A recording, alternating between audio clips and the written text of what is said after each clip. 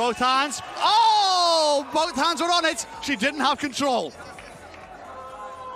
And everybody here is stunned. She goes back up for another go, but only 10 seconds.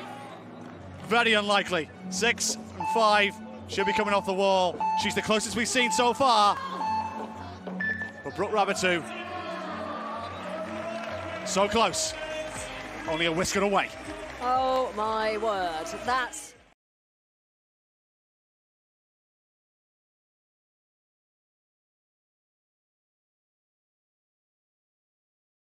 Coming back against the Japanese.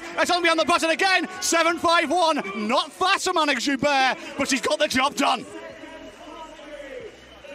7.51 seconds. It'll be the battle of the speed climbers in the final. that is going to be a fascinating final, the speed final between Aleksandra Mirosław and Anouck Jaubert of France.